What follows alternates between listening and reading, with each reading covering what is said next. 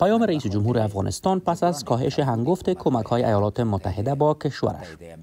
محمد اشرف غنی در این پیام ویدیویی اطمینان می‌دهد که کاهش یک میلیارد دلاری کمک های ایالات متحده تاثیر بالای بخش های کلیدی نخواهد داشت. اما همین اکنون برایتان اطمینان داده می توانم که کاهش کمک ایالات متحده امریکا تاثیر مستقیم بالای بخش ها و سکتورهای کلیدی ما نخواهد داشت و تلاش خواهیم کرد هم با روش ریاضتی و هم با جستجوی منابع بدیل این خلا را پر بسازیم. اشرف غنی در این پیام می‌گوید که دولتش برای حالات غیر مترقبه برنامه دارد و این خلای مالی را از منابع دیگر پر خواهد کرد. و فعال نگه داشتن دستگاه دولت و جمهوریت مهم و حیاتی است. کاهش یک میلیارد دلاری در کمک های واشنگتن پس از این سفر مایک پومپیو وزیر خارجه آمریکا به کابل اعلام شد.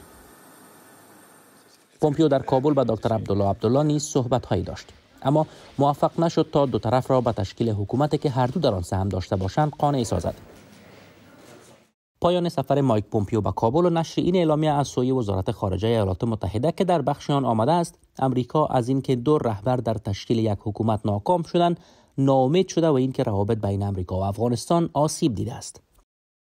به دلیل اینکه این ناکامی در رهبری تهدید مستقیم را متوجه منافع ملی امریکا می سازد سر از همین حالا حکومت امریکا بررسی دوباره همکاری ما با افغانستان را آغاز می کند به حیث بخشی از اقدامات امروز تنظیم مسئولانه مصارف ما در افغانستان را اعلان کرده و از همین حالا کمک ما با افغانستان را یک میلیارد دلار امسال کاهش می دهیم آماده هستیم که یک میلیارد دلار دیگر را در سال 2021 کاهش دهیم.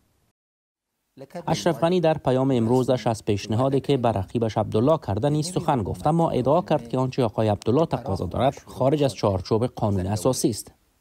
غوښتل مې د خپل وعدې په اساس ډاکټر صاحب عبدالله ته د سولې پروسې کې اساسي نقش او د ټیم ملګرو ته په کابینه کې رول ورکړم. اما هغه د اساسي قانون پر تغییر ټینګار کوي. هغه هم په یوه شپه کې د ده او زما د تفاهم په اساس. یعنی د داسې جوړښت او تشکیلاتو غوښتونکی دی چې د اساسي قانون له موادو سره کامل مغایرت لري. زه له هغه میکانیزم څخه بیرون چې په خپله قانون وړاندینی نه کړې د هیڅ فرد او ډلې په غوښتنه د اساسی قانون د تعدیل صلاحیت نلرم. درباره اینکه آقای عبدالله دقیقا چه تقاضایی داشته در این پیام آقای غنی وضاحت داده نشده است.